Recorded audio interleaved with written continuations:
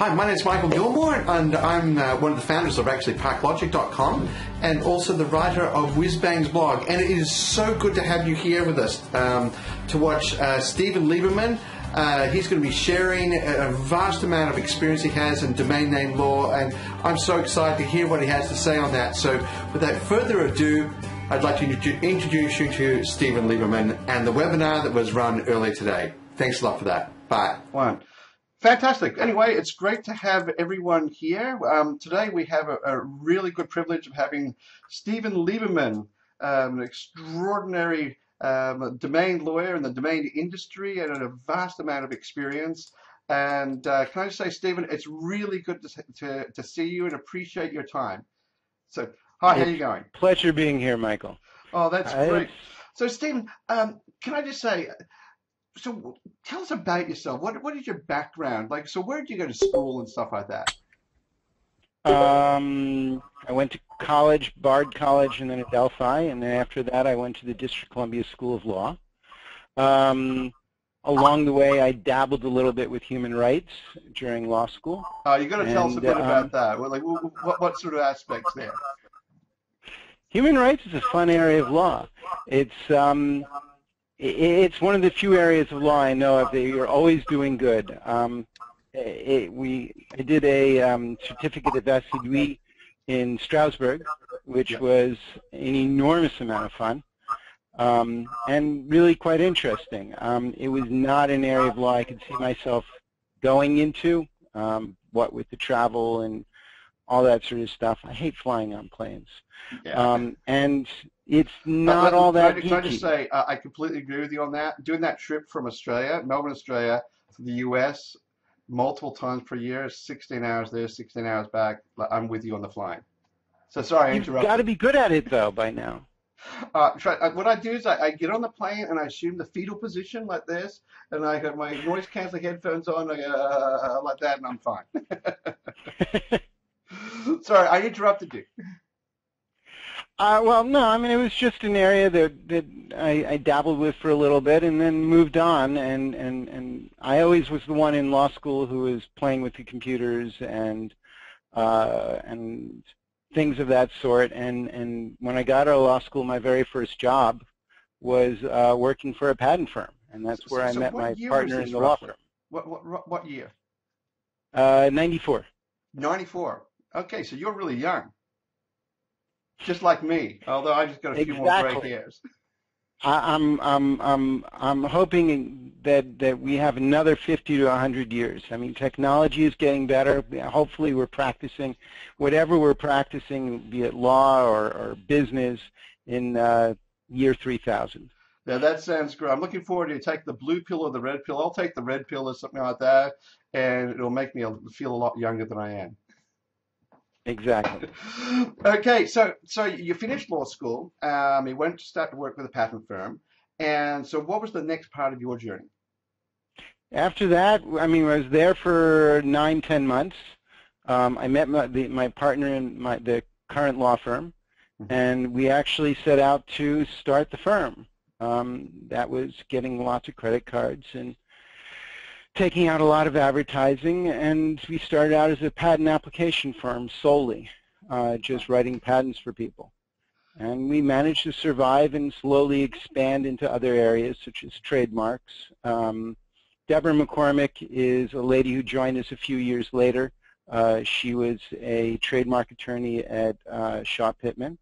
And then over time, we brought in other attorneys who are of counsel and work with us a lot uh, such as a guy named David Shaheen who does securities law and high-end corporate work. And as many of you know, uh, Phil Corwin does lobbying and a lot of other work um, in the domain industry.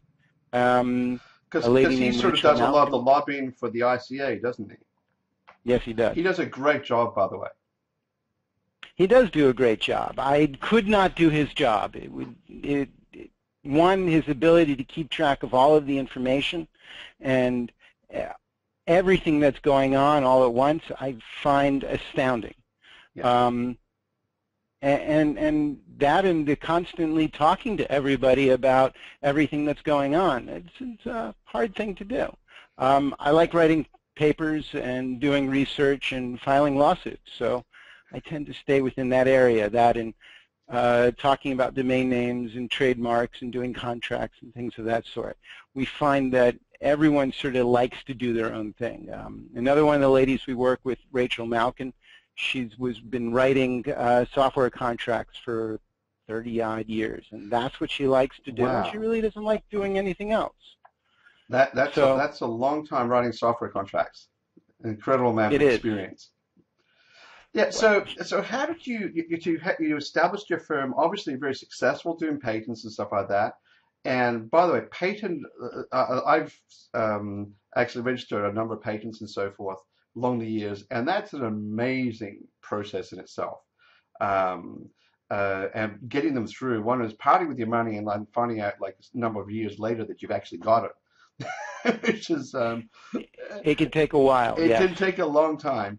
Um, but it, you, I would imagine as a patent lawyer, you would have found some really interesting things along the way and people's different ideas, some crazy ones as well.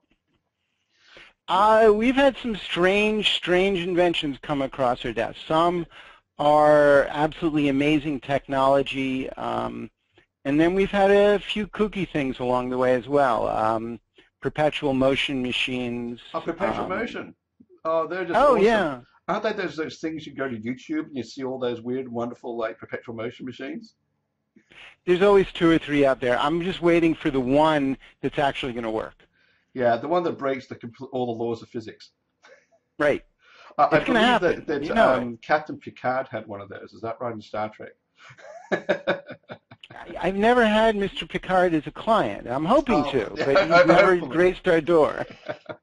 that sounds great. So you- you're journeying along your way, and you come across domain names. Like, can you? Was there an epiphany or a moment where you saw your first domain name? You thought, "Oh my gosh! Like this seems like a really awesome area to get into." Uh, well, it didn't really happen that way. I, I'd actually knew about domain names and had a number of pretty good ones, and then back then being really, really broke, this was being before law school, um, dropped them, and, and because they were $35 a year, Yeah, Um, way too much money. unfortunately. Way, well, I thought it was then. Uh, So th- th- have you seen them sell for a number of million dollars now each? a number of them, yes. oh But- no! Oh, well. Uh, haven't we all Um, made that uh, that, that mistake? Uh, probably. Yeah. I, if if hindsight, if I go back and tell myself to do things differently, there's a lot of domain names I would have bought. There's no question let me, about it. let me it. tell you, I was in Japan. Uh, I was doing some contract work for the um, Australian Embassy at the time, and I was invited to the launch of the internet in Japan. And I said, nah, I, I can't be bothered going to that. Hey. I'm, I'm not thinking, oh, geez. I said, no, I'll stay in the hotel room, read a book or something. What's this? What's this? What do I want to get involved in that for? But anyway. Oh well, yeah. I mean that's the same thing. Hindsight. So, So, so you had all the, you had a few domain names, and you, you went through law school. You established your firm. Obviously, quite successful as you got more and more different attorneys on board and expanded. Um, then, what caused you to, to start to get into the domain name law space? Was it just um, natural actually, I I met a guy named um, Alganum, um, who uh, runs a company called FMA, and he had a whole bunch of different interesting things to do, and and we did a number of lawsuits for him, and a lot of them were centered around domain names, and um, he was the reason I think that I really started getting into it and really started appreciating what domains were and where to go and, and what sort of a business it could be. And I met, I went to the first traffic conference because of him um, and Was met a lot of leaders. The- very first one in Delray. I don't remember exactly where it was, to be perfectly honest. I think it was in Delray. Uh, I, Um, the only traffic long conference time I've ago at missed is that point. one. Uh, I've been to all the others. It, it, it feels like a long time ago at this point. Yeah, I imagine so. So, so, so you, you went to the traffic conference and then you obviously established some contacts there and things like that. Um, Mhm. Met a lot of people. Yeah, it's funny. I was just saying I was there. It was a long time ago in Delray. So, but anyway, um, so so you obviously established a whole lot of lot of experience in intellectual property in your in your law firm, and domain names naturally flew out of that. Uh, we've done a large number of lawsuits pertaining to domain names, a large number of UDRPs, a substantial number of escrow transactions, uh, some really strange, twisted, do this, then do that, and then do this, and then do that type sort of thing um, in escrow transactions. Um, helped people with some owner finance deals along the way, and um, yeah, I mean we've we've done pretty much all the different areas when it comes to domain names. I've even been an expert as pertaining to domain names in a number of lawsuits. Fantastic. So, so here's a question for the people on this call, the people who are going to be watching the uh, the webinar um, uh, on video. Is what what should they be thinking about when they're wanting to sell a domain name or or acquire a domain name? What are the things that they need to really think about um, in that process? Because I think a lot of people in the domain industry, my experience for many years was send money via PayPal to someone you've never met on the other side of the world. It could be 100,000 bucks. They send you a portfolio of domain names or, or a domain name you want to acquire, and it was all done in a handshake essentially. But things have changed I, since then. So um, yeah, it has. It has definitely changed since then. And as a side note, I actually saw a million dollar transaction happen uh, on a handshake and yeah. a PayPal transaction. Um, Trust me, I was on on holidays one time and uh, I bought a portfolio of domains, and I called up my banker and I said, "Look, do you can you just transfer a significant sum of money? I'll leave it as that to some bank in Malta." and uh, the bank said, "Pardon me." And I said, "Yeah, can you just do that?" And, and they did that for me, and I sent paperwork afterwards and I got my got the domain name and that sort of stuff back, and there was no contracts, there was nothing, and it was all done on reputation. So so what what should we be looking for now? Because like I said, things have changed. Things have changed. The domain community is much larger than it was a decade ago. Yeah, um, that's for sure. Domain names are now clearly known to be of value. Um, and not everybody in the domain industry is trustworthy or well known. Um, so obviously the first stop you're going to go to is let's do a contract. Um, second stop you're going to do is let's do it as an escrow transaction. Make sure you know the escrow agent. Um, and then there's a lot of ways to structure deals. Um, we see an enormous number of transactions where, which are payment over time. Um, and uh, sometimes it's where the where the domain owner will say, all right, I'll hold the, uh, you can pay me $1,000 a month for 36 months as, as an example. And if you don't make all of the payments, then um, I get to keep all the money. Yeah. Well, that's, that's one way of doing it. Um, other times people will buy the uh, company that owns the domain name. Um, there's obvious advantages to that because if you don't uh, if you do that, then there's no change of ownership. It's the same company. Mm. So it makes it a lot easier if, that if somebody else is going to come back and say, oh, it's a change of ownership, we had a trademark prior to it, and, and, and now now you have to give it up and give it to us. So, so just just if I can interrupt there. So why do you find that um, acquirers are now using like payment plans versus here's the cash up front, see you later? Is it just a risk mitigation strategy or they don't have the cash and they're wanting to reduce their, their amount of cash outlay up front? Like, what are you seeing amongst the particular um, buyers out there? I think it's a little bit of both. Um, I think there's a lot of people thinking a lot about the um, tax uh, ramifications as well. Yeah. Um, that if things are going on more than a year, then you, and then the income could be uh, long-term capital gains hmm. as opposed to regular income. Obviously, at least in the U.S., I, I, don't I don't know the tax laws where you are. Yeah. Um, Trust, I don't know them either. somebody must. I promise. No, somebody no, it's, must. It's, it's amazing. I'll just digress for a second. I actually wrote a blog post just on a very simple one on capital gains tax and of just keeping track of how much you bought, bought something for and how much you sold something for. It's something we do at ParkLogic, my company, uh, for clients. And the thing I'm amazed at is the number of domainers who actually don't keep accurate rec- records, and they they lose a huge amount of money because of that. Uh, because Oh, they could sure. be writing off a lot of lot of lot of losses and stuff. The other thing I noticed that none of the domainers do is that a lot of domainers will go ahead and they'll be like, all right, I'm going to sell this domain name and use the money to buy the, these domain names or sell 10 domain names and buy another domain name. Yeah.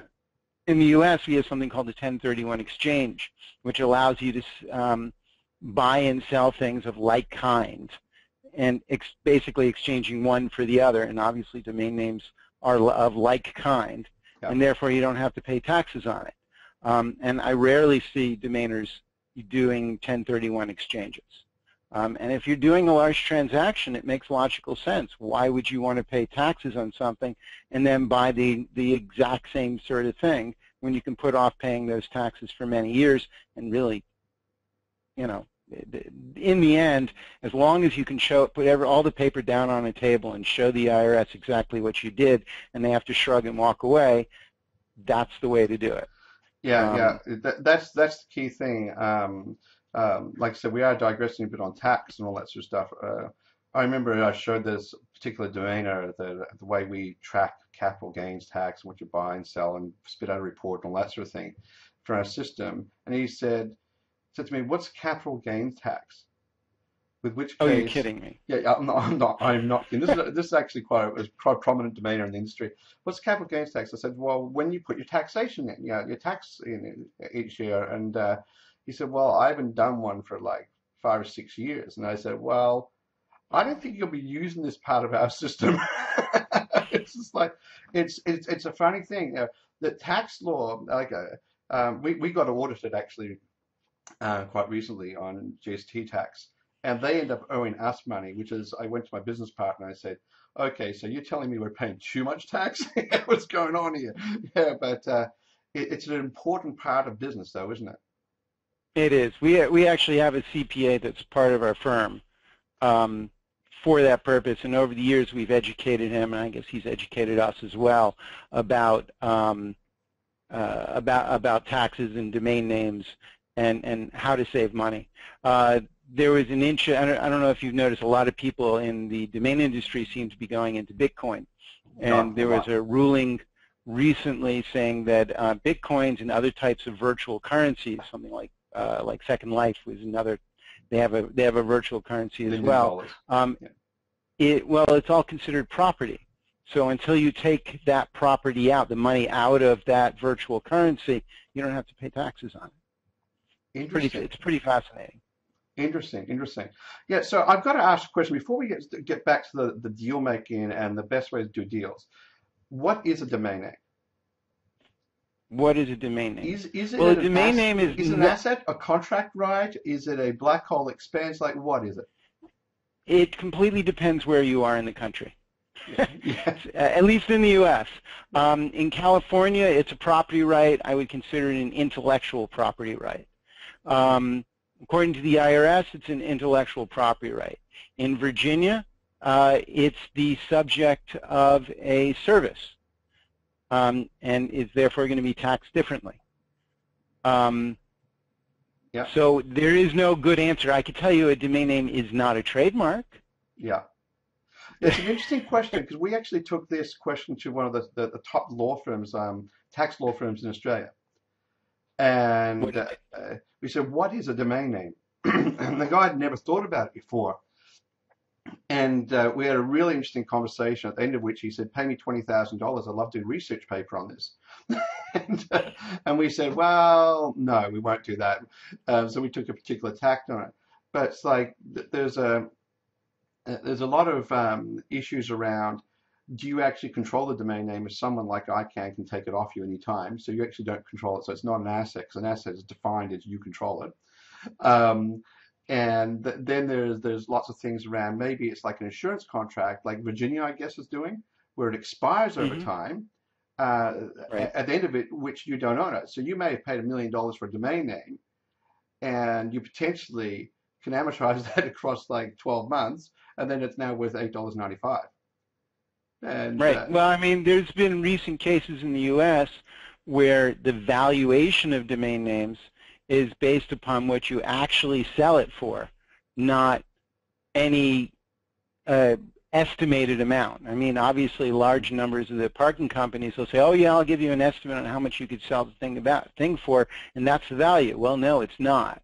There's been specific rulings in, at least in Maryland, that say that the value is the amount that you're paying for it in, you know, eight, nine dollars. Yeah. Even if it's, I don't know, buy.com until you actually sell it, and then that would establish the actual value. So what happens if you, um, so the amount you might purchase buy.com for, if you purchase it for like $2 million, but you sold it for 5 million, um, Well, does that count as a $2 value million changes. capital gain? It's just like a house. I mean, you buy a, a what what what somebody's willing to pay for it. That's Yeah. the value that it comes down to. Or does it, or does it depend where you are? So if you're in Virginia, the end of 12 months, you can write off like $2 million worth of capital, uh, um, capital gain as such. You write it off because it's worth $8.95 now. But then when you sell for 5 million, you got $5 million of capital, capital um, uh, gain. From a tax point of view, from a federal tax point of view, a domain name is clearly intellectual property. Yeah. It's- there's it's- been it's a ruling from that point of view. Yeah, it's a really And- interesting area, and what one of the things I found was that um, uh, it uh, it really depends, like you said, what state you're in or what country you're from. It really depends on how you, you uh, should account for your domain names, Right. and that's a key definitely. thing for domainers is that they need to be doing that sort of thing, shouldn't they? Of course. I mean, look, everything when it comes to business is strategy. Yeah. That you want to make the most possible amount of money and keep as much of that cash in your pocket.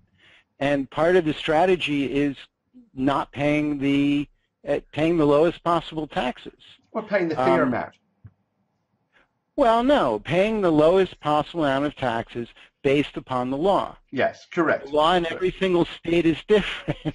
the law in every single country is different. Uh, uh, You can vote with your feet. Oh, I don't want to. I don't want to follow these rules in this state. Move.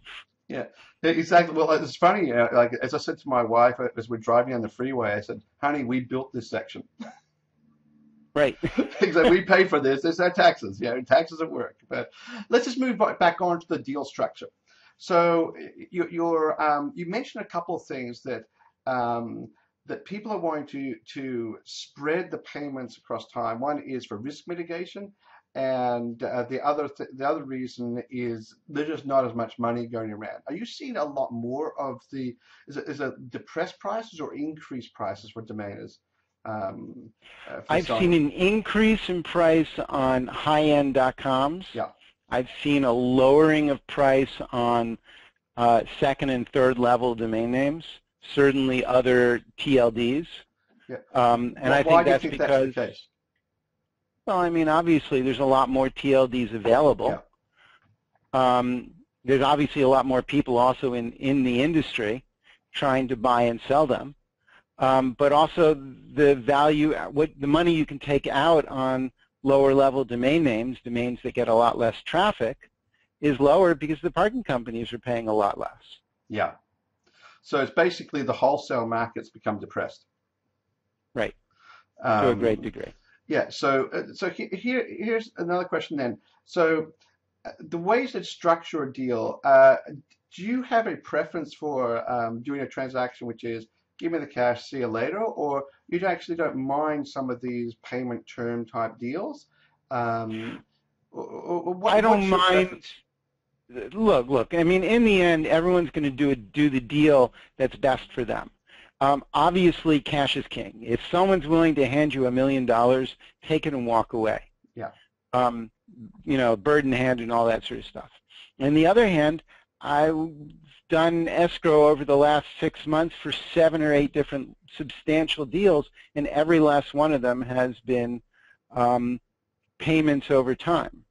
Hmm. Um, and substantial contracts where there was negotiations not just pertaining to, you know, what's going to happen to the money if we can't finish it, also about who owns the improvements, who, who owns the goodwill. Is the ownership going to transfer now or is the ownership going to transfer later?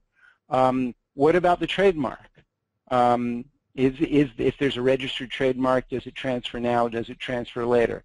Um, one deal we did, the domain name was uh, leased for a dollar, and the as and the trademark was the thing that was uh, licensed, and it gave them a right to buy the uh, domain name itself um, at the end of uh, I think it was about a years years long contract. Okay. Um, you know, there's a lot of different ways to uh, skin it, skin the fish, so to speak, or skin the duck. Yeah, yeah. no, it's it's it's, it's an interesting question. Um, of uh, do you you find many of these sort of deals they in the process of negotiating them through because they get more and more complex.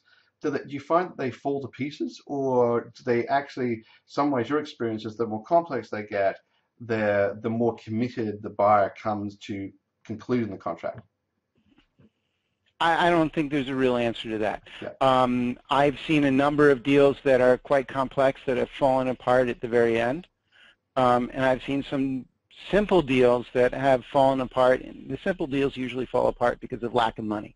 The complex deals fall apart because either people are, don't have the money, can't can't maintain it, um, or there's a lack of will to get to the end, so to speak.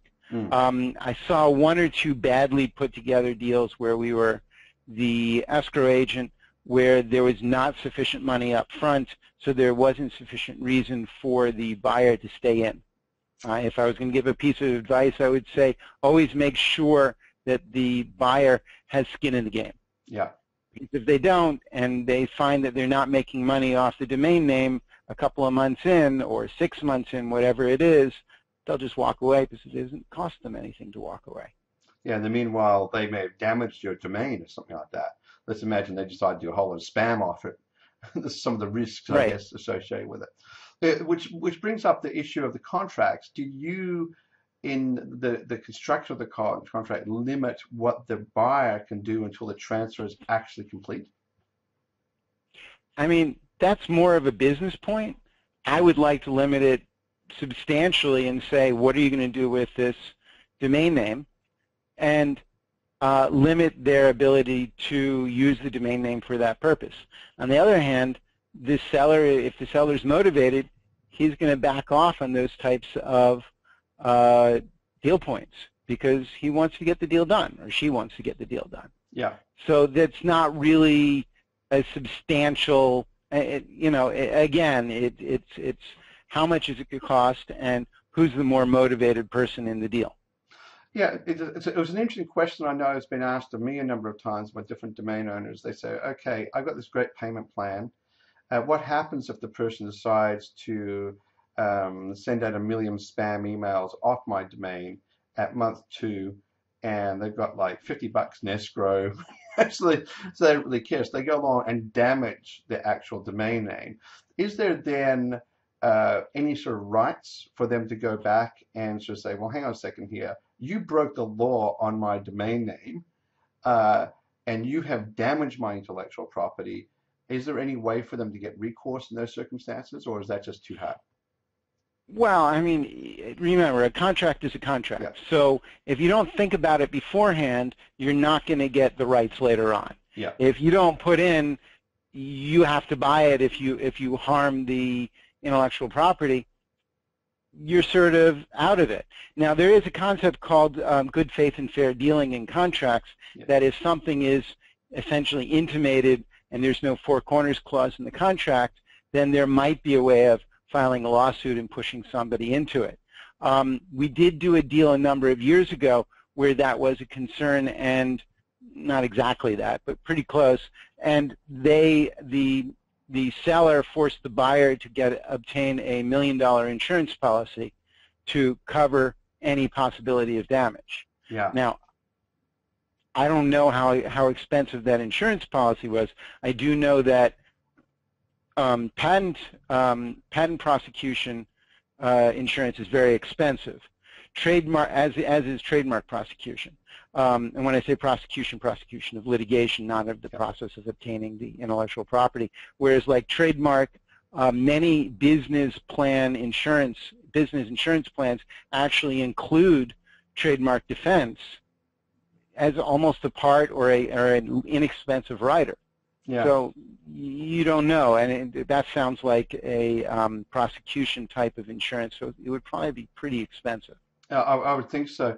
But it's something I think that, um, maybe domain owners should be aware of is that uh, I've noticed there's been a, a, a, quite a substantial movement to payment terms over time and that sort of stuff, as you were saying.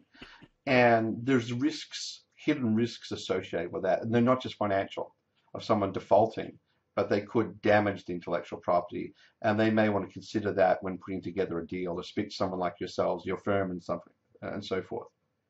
Right. We can always guide people and tell them what the different risks are and where yeah. to go when it when it comes down to it. We've done a lot of these contracts, so it's really not that hard to foresee the problems, and that's the whole point of contracts: foresee the problems and say what happens when they happen, and hopefully they never happen. But no, absolutely. As, as, as, people you always say, sort of say is that you sign the contract and you put it in the drawer and you, and you hope you never have to pull it out. But gee, you're glad right. when you've got it uh, if you do. So just moving on. Okay, so buying the company. You, you, mentioned that's one of the other options. Is the domains are part of the company, and so you you you want to buy that domain from someone. You decide I'm going to buy the company, um, or let's imagine you have your domain and you want to sell it to someone, um, and it's inside of a company. So what are the pros and cons of this uh, that you've seen in your experience? Well, the pros are obvious. That that there, there's the domain name stays with the same registrant, um, and there's really no issue pertaining to having to assert tacking, which is when one trademark owner transfers a uh, trademark from one person to another. So the goodwill is definitely there. Um, oftentimes, that that when you're doing that, you're also buying all of the improvements on the domain name um, the website, um, any software that's associated with it, etc. Um, and, and, and it's a much easier transaction. It, you could do a stock transaction or you can do an asset deal. The, um, the um, asset deal is buying all the assets out of the company, yeah. which isn't quite as good. If you're buying the company, you're buying the stock of the company. And the obvious negative side of that is then you have to put something in that says that you're not responsible for the debts of the corporation. That mm. corporation could have filed and, and could have many, many debts and or other issues and or have caused some third-party damages, in which case you have to be very, very careful that you don't inherit those things. Yeah, there's a lot of things um, representations and warranties and everything like that associated with the company and um, and so forth, correct? Right. We um, we use we use the buying of the company regularly when we're transferring registrars, um, and because there's so many issues pertaining to ICANN, it's just a lot easier just to sell the stock of the company, and then keep moving. And then we use the standard types of things you just mentioned yeah. um, when we when we transfer those. Yeah. So we've talked about some deal structures. Um, the one the one that is becoming a lot more popular, which is more than just like payment over time, it's more of leasing. Um, so they actually have like a a right for a period of time. Would that be correct?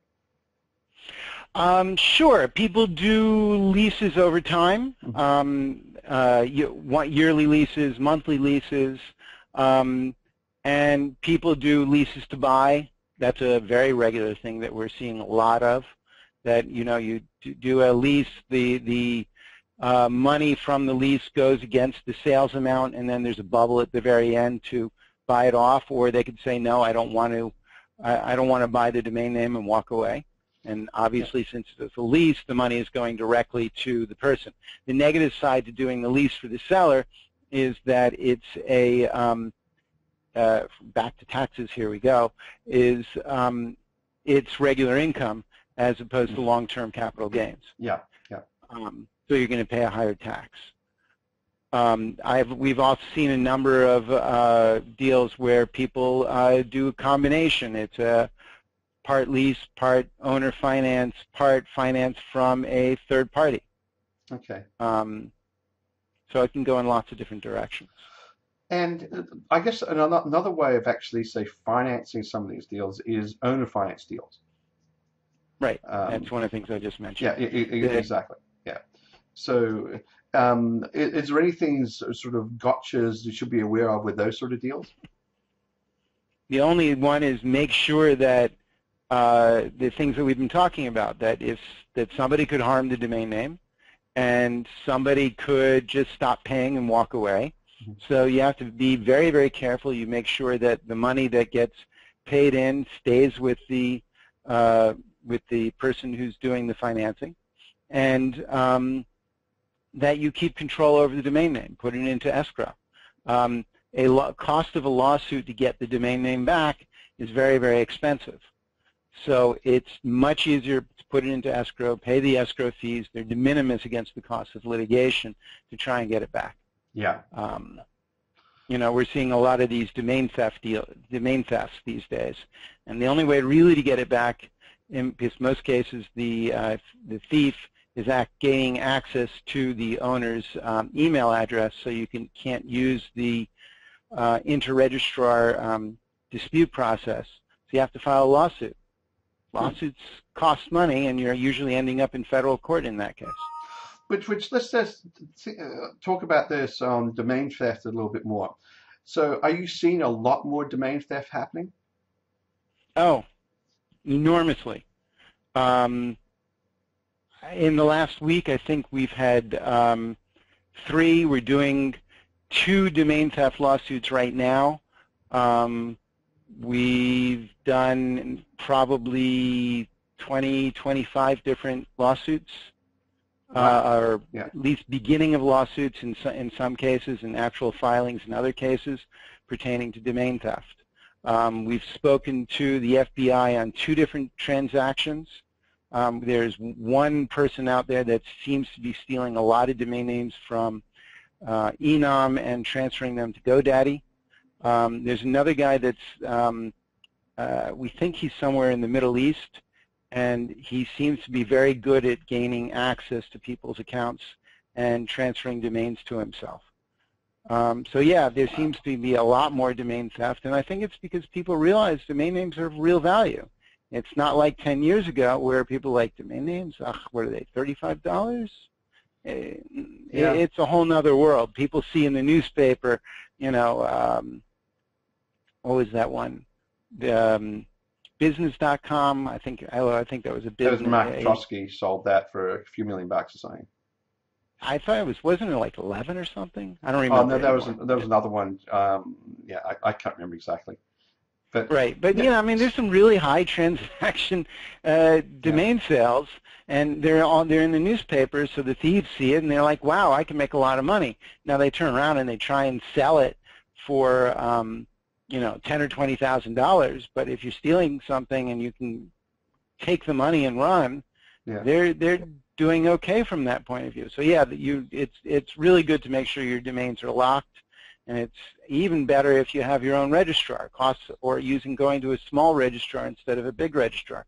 The small registrars will um, take more personal interest and really try and lock the um, domain names, and the thieves will not have um, as easy a chance and we won't be as familiar with the controls within that particular registrar. Now, obviously, there's negative sides to going to small registrars, but I always find it's easier to talk to the owner of the company when you do. Yeah, no, it's um, uh, uh, how about other things like making sure your your password and your email address is actually quite complex and changed regularly? Would, would that help? You mean you're not supposed to make your password the word password? Yeah, for some strange reason. I don't know what it is. Yeah. yeah, like I, I, it's funny in my own thing. I, I've got probably we all do this. We have multiple levels of passwords. Yeah, some passwords you really don't care if someone can work it out, but other things completely random. it's just um, uh, bears no resemblance to my life whatsoever. Well, that's a good thing. I, I close my eyes and slap my hands on the keyboard to get my passwords these that, days. That sounds good. So um, just just moving on right now, uh, do you find, obviously as a lawyer, you, you find uh, using a contract is obviously important, but is it always important? Like, are these big transactions still being done on a handshake? Yes, there are definitely some that are being done on a handshake. Um, I don't know why, but I actually haven't seen any bad things happening because of the ones that are happening on a handshake because they're usually happening with people who are insiders within the domain industry. And again, when you're an insider within the industry and people know you, and we know you live on your reputation, yeah. Um, they're they're they're moving forward without any real issues. And yeah, we've seen some really substantial deals without any contracts at all. So yes, I still think as an attorney, it's far better to have a contract because you know, that old telephone thing where every person whispers in the ear and to the next person, next person, you get a completely different message. Uh, people can misunderstand what you say. Um, if it's down in writing, then then there's no misunderstanding. That the deal is the deal is the deal. Yeah. But they still happen, and I'm glad they still happen because I like the small industry. I think there's something very nice about it. There's but it's something special about it, isn't there? Yeah. yeah, and I think that's why we're we're all involved in the industry. So just just taking a look at this. Uh, moving on, trademarks. Uh, this is a love. I think domainers have a love-hate relationship with trademarks, and of course. And they love them because when they have them, but they hate them because everything's been trademarked. Um, well, so everything's like, how do you defend yourself against these sort of things, and what should you be looking looking out for? There's some obvious checks though. So, so can you sort of take it from the other side of the fence, where you're trying to get a domain potentially from a domainer, um, and what is the the potential trademark owner? What's their view of the world? Well, I, I think they're, they're, it's somewhat narrow. They think that oh, I have a trademark, because most trademark owners don't really understand trademarks. Oh, it's clearly mine. They have my domain name. Um, but that's not obviously true. The trademarks are broken up into, um, well, one, they're based upon a country-by-country basis. Two people, um, and then they're broken up into goods and services. The whole goal behind trademarks is to avoid confusion. So one person can have uh, the mark Bluebird and use it for, I don't know, uh, screen monitors. Another person could have the mark Bluebird and use it for selling, I don't know, horses. Um, and they can advertise right next to each other, and there's never going to be an issue because um, there's no possibility that the consuming public is going to think somebody who sells monitors also sells horses. Um, on the other hand, both of them may want the domain name bluebird.com. So who gets it? And the answer to that is whoever gets there first. On the other hand, if um, there are such a things as trademarks that are famous, uh, examples of famous trademarks, and I guess these companies will be happy that I say them, things like Nike. Um, Coca-Cola? Coca-Cola. I think they said Coca-Cola is the most valuable trademark in the world. Yeah. Um, if you have Coca-Cola.com, you're not going to get to keep it. It's just as simple as that. One, in the United States, there's a law called uh, the Dilution Act, um, um, and that says that they can have a right in gross to um, they can stop other people from using their trademark in other goods and services because the consuming public is going to assume that if you have the domain name Coca-Cola.com and you're put, selling a product, even horses, that it would be put out by that company that is known as Coca-Cola. So, so I couldn't um, have um, a business decide to manufacture Tiddlywinks and call my business Coca-Cola Tiddlywinks and then uh, then um, have Coca-Cola.com. No, you definitely could not. On the other hand, remember also Coca-Cola has probably registered the the term Coca-Cola in most countries around the world. I'd say every country. yeah. I haven't been everywhere. Yeah. I certainly haven't searched everywhere. I'd be willing to bet at least 90%, maybe them all, but yeah. I, am sure there's some little country where they don't have a filing. But the interesting, um, correct me if I'm wrong, was something like Coca-Cola. I, I, cola is not a trademark, though. No, because there's lots of different, different, types of colas. Yeah. Cola is, is is one of those, I guess, it's that sweet brown drink. Yeah, it's a generic. Um, yeah. It's a generic. Pe Pepsi is a cola. It's Pepsi Cola. Yeah. Um, I'm sure there's some others. I'm not a big soda drinker, so.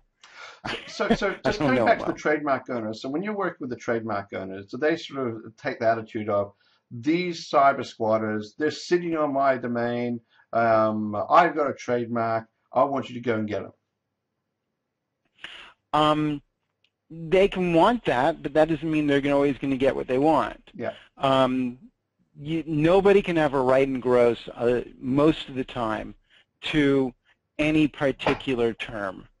Um, a right in gross means the the right to um, that term for all different goods and services. The, the, the real question is whether it's that other person's use is confusingly similar. So, uh, you know, you take generic generic marks, and you also have, you know, the word apple is a great example because um, apple is a fruit. We all know it very well. And then you've got Apple computers.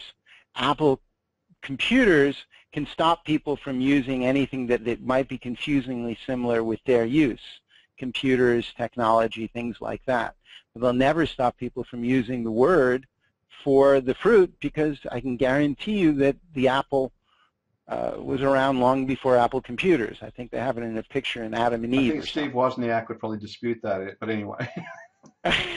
we'll have to have a chat with him about it.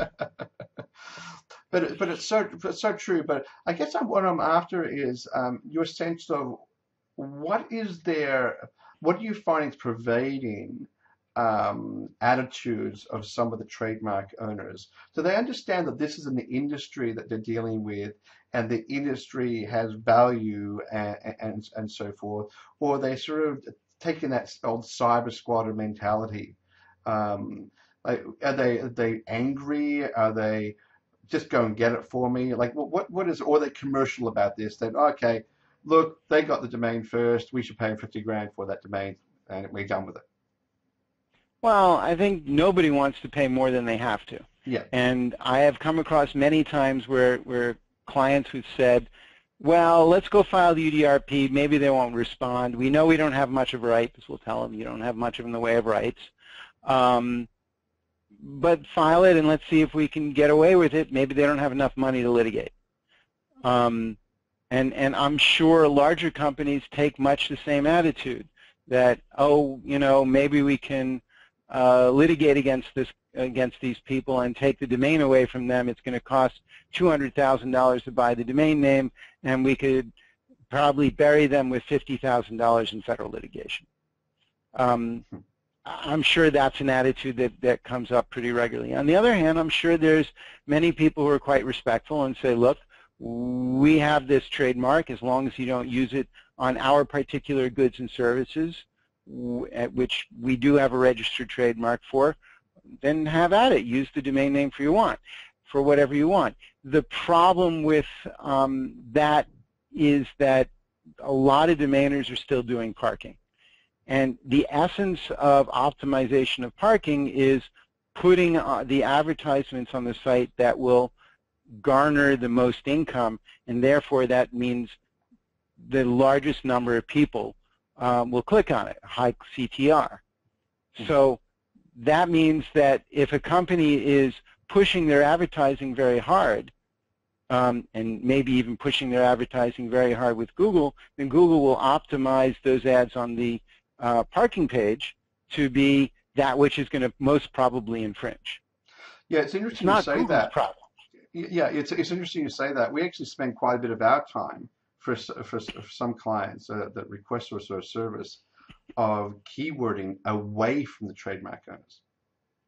Um, to make sure there's no, and you do whatever best you can to be able to do that. Um, but you're right, there are some risks um, in, in, that regard um, particularly for high value domains. Uh, and you've got to really be careful with them and also where you pack them and what you can and cannot control on the page. Absolutely. Yeah. Look, if you have a really high value domain name, it doesn't make an enormous amount of sense to um, park it. You really need to build it out because you're going to, in the long run, you're going to garner secondary meaning from that high value domain name. Um, secondary meaning is um, when you associate a particular word, even if it's a generic, with some other uh, goods and services that are not associated with that generic. Obvious example, I'll go back to Apple, is, is Apple for computers. um, which is the secondary meaning that Apple has approached. I'm sure if I did a trademark search, there's a number of people that have used the term Apple for lots of other things. In fact, I know there's an Apple courier service Yeah. in the area that we use pretty regularly. Um, so they've, in my mind, have secondary meaning. Apple in secondary meaning has has secondary meaning for courier services as well. Mhm. Um, but eh, you know, it, it, it's a waste to leave a high-value domain name on pure parking um, unless you're being very, very careful and making sure that it's not infringing on one of these other companies' marks. Yeah, Um, it's- it- which brings up to the next question. I'm, I've got a really high value domain. Let's imagine I've got a high value domain and I'm wanting to sell it. Um, so I'm not going to pack it, like you said, and take your advice. I'm not going to necessarily pack it. Um, so I'm going to forego some of that revenue. So I'm thinking, well, how do I sell this thing? Uh, what should I be doing? So I then think, well, if I build it out, like you said, develop it, is that going to add value to the transaction with a particular buyer or detract value? Actually, the reason why I'm asking that question, is, I actually wrote a blog post on this um, just recently, so I'd be interested in, in know your your opinion on that, with your experience on the buying side now. Well, I always think that a business sells for a lot more than just a domain name. Um, and, and domain names are there to have a business. That's much the purpose. It's so people can find you.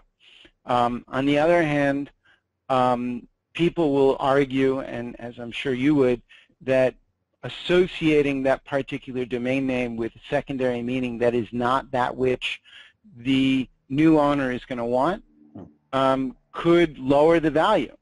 On the other hand, secondary meaning can be changed and there can be multiple secondary meanings Hmm. to a particular domain and the words associated with it. It's interesting your point of view there. Um, in in, um, in my blog article, I actually wrote and I said, look, if you're in the domain selling business, sell the domains. the focus on doing that, and that's really what you're doing. And I wrote up the, I think it's part nine on how to sell a, sell high value domains. Um, but uh, what you may want to do is take a domain and build it into a business, and then repeat. Um, and so you end up, like you're saying, selling the businesses. But uh, I think I actually find in transactions it can quite often muddy the water. Um, Oh, it can. There's no question about it. Because now you're not just dealing with the domain name. You're dealing with all the other things that go with it. Because Yeah. a business is a complicated, messy thing. yeah, You know, there's other contracts, there's other deals, uh, there, there's other assets that get built in. People buy servers, people buy all these different sorts of things to make things move forward. And, and you've got to Uh, be, you know- um, you sort of, sort of try and think, am I going to get the value from all my effort to build this thing out and turn it into a business, business some ways from the buyer? If they don't value that part, all they value is the domain name. Right, exactly. Yeah, so So there's no really good answer. Yeah. I I mean, you, in many ways, I think the guys who are putting up websites that say these domain names are for sale, I'm in the business of selling domain names, are the safest. yeah, Um, it's interesting.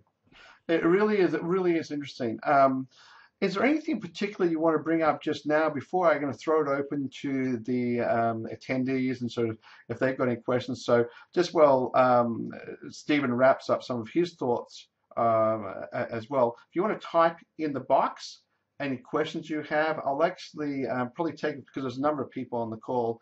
We'll just have the questions in the box and I can read them out to, to Stevan. Um, and uh, so, Steve, do you want to share anything else, just then, to wrap things up? I, you know, the comment is really is, is is really a simple one. Transactions may look simple, but there's often things that you're not going to see if you haven't done it a thousand times. If you've done it a thousand times and you really know what you're doing, then just go ahead and do it. But oftentimes, bringing an attorney in order that knows the different ins and outs, who's done it a thousand times, is obviously of assistance. Um, it's a great and wonderful thing when people can do transactions on a handshake. Um, it warms it warms my heart and makes me smile, but that's rare. It's far better to write a contract and make sure everything is clear. Yeah, couldn't agree with you more. Um, and uh, it's it's it's always in some ways seller seller beware if you're selling your domain, and buyer beware as well when you're buying. But there's right. a, a, question that's come through. Which of the new GTLDs are most interesting for investors? In your in your opinion, there, Steve? Wow, that's a that's big a question. I know that's a huge question. In fact, we should have a a, a um, webinar just on the new GTLD space. I think. Um, the answer to that is not talking about a particular GTLD. I mean, Wayne, we can always talk about which ones we think are good, and a lot of that's just a guess. I think the reality of um, GTLDs is the company that's going to promote it the most and get it known the most are going to be the GTLDs that are going to do the best. Hmm. Because in the everyone knows about .com. It's been around forever the only way people are going to know about all these other GTLDs, and there's a lot of them, is if somebody tells the world about them. Um, and that takes advertising and money. So which companies have the most money and the most impetus to invest in advertising? Um, I mean, let's look at it. We've got uh, Google, Amazon, Web.com. Was it Amazon's um, put in applications for 74? I don't remember the exact number. It was a substantial yeah, number. It's a I lot. think Google was 101. Yeah. I don't know how how many Web.com has, and there's obviously uh, Donuts that has a ton. 304. I don't know why these That's numbers are sticking in my mind. One wonders about you remembering all these yeah, things. exactly. no, no, I actually find this an interesting space, um, and uh, I was talking to someone just recently about just just sharing my thoughts on new GTLDs, and I, I, thing I really struggle with still, for most of them, is the business model for the domain investor. Is where they're going to well, get their it's returns. tough. Yeah. Yeah, I mean, the, the, the business investor is, is making a guess. Yeah. If, if you're doing it true, uh, truly on just investing in the domain itself, you know, again, who's going to who's going to promote that GTLD the most, or is there something about, yeah. you know, a, a business investor can take another point of view. I'm going to go for the really high-end uh, three-letter, four-letter, five-letter uh, word dot something, and I'm going to do the promotion myself. Yeah. That's, then you're building the a business, though. There's a couple of other Right. questions here, uh, Stevan. Um, one is from Dante. Um, Mm-hmm. on a payment term deal where the domain is held by the escrow agent, how do buyers respond to your law firm as the escrow agent as opposed as opposed to say escrow.com? Um, well, we match escrow.com's prices. I find that people tend to trust the law firm a little bit more. Um, escrow.com is very well known, but they don't seem to do very complicated transactions. Um, and there's nothing personalized about it. Um, if you're going to do an escrow transaction with us, you're going to uh, find that we're going to make sure it, it goes through. I'm going to make sure it goes through and goes through smoothly. There's not going to be any issues, and I'm going to tell both sides if there's an issue. It's not going to be, you know, if they come forward and they say, you know, we're we're not doing a contract, I'm be like, you know, you really should do a contract. Um, um, we've done some very large uh, escrow transactions. I find people tend to use escrow.com or uh, some of the other escrow companies for the smaller ones because it's all online. We uh, at one point tried to build out a online system, and reality is online systems aren't appropriate for million plus transactions. Yeah, I think escrow.com, um, they do a great job at, at, the deals, types of deals you're talking about, and more complex deals you, we're just talking about on this uh, on this webinar. I think that um, to go through a, a, law firm like your, your own would be the way to go. Well, I personally agree, but I'm obviously very prejudiced. Yeah, and so, um, like I said, I think escrow.com does an amazing job of what they do as well. It's a different type of market in some ways, isn't it? Oh, sure. Yeah. I mean, it, it doesn't make sense to come to me for a $60 or $100 or even a $1,000 domain name. Yeah. Um, you know, we're doing in the midst of an escrow right now that's a five-year term that has particular uh, bubble payments along the way.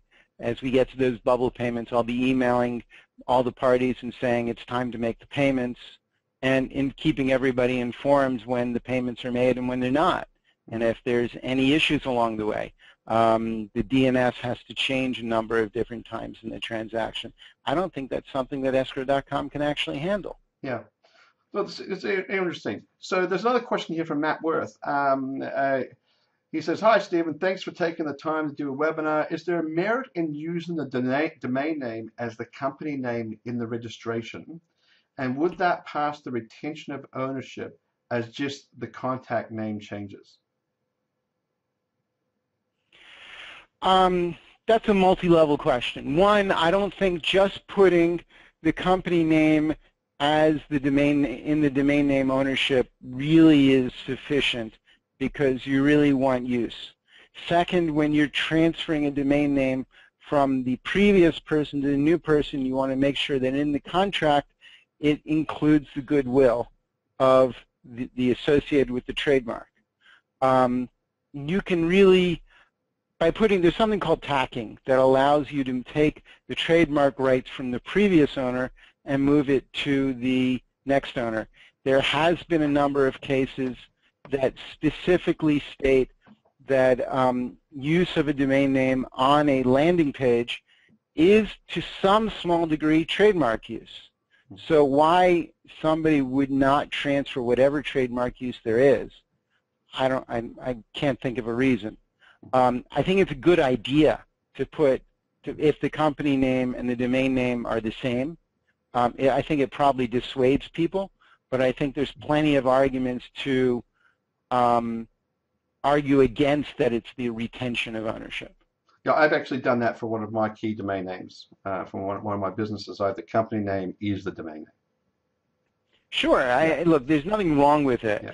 I just think from a litigation point of view, there's multiple factors. Yeah. And that if you're ending up in litigation, the attorneys on the other side are going to bring up all those other factors, and the weight of the name being uh, part of it will be not de minimis, but won't certainly won't be everything. Yeah, you raised some interesting points there. Um, is there any other questions? Just um, uh, I notice our time is really uh, wrapping up right now. But there's any any other questions? If there aren't any, then can I just say, Stevan, uh, it's been really good talking with you. And, good talking to you um, too. Uh, there, there's a lot of other things we didn't touch on, which I think uh, maybe down the track if we have, have, an, have another webinar or something like that, uh, it'd be fantastic. Um, and uh, I, I, just think that there's so much to, to, the, the legal side, but also so much to you. The fact that what we didn't touch on was the fact you also invest, don't you? Uh, you invest in businesses, invest in domains, all sorts of stuff as well, which is another aspect of Stevan Lieberman. yeah. Thank you. Yes. The fun part.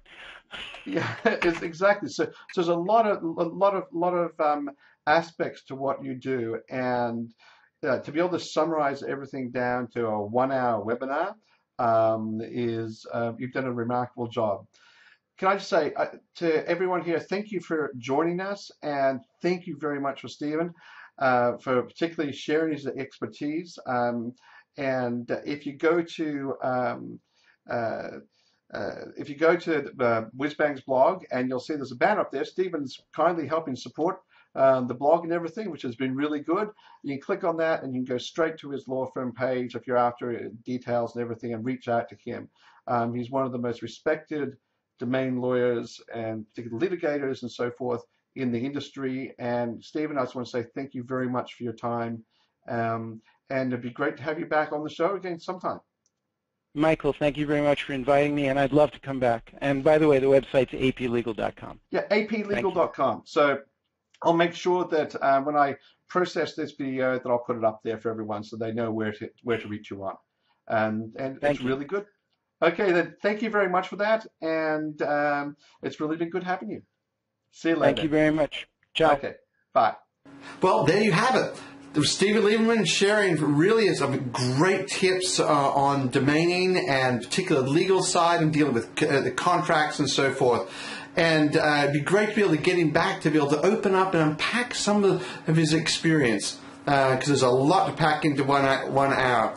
Well, um, following next week's webinar, we're going to have a lot more stuff we're going to be discussing, and uh, I hope you really enjoy it. Please don't be a stranger. Come onto WhizzBang's blog and um, just ask questions about domaining or suggest, like Michael, hey, uh, what sort of topics you'd like to be able to um, discuss at a webinar or you'd like me to write on. I'd love to be able to share with you a lot of things um, about the domain industry because it's just given me so much and I'd like to be able to give back to you. Anyway, um, so feel free to comment, like me on Facebook, all that sort of stuff. And it's great to see you. Have a great week this week. Thanks a lot. Bye.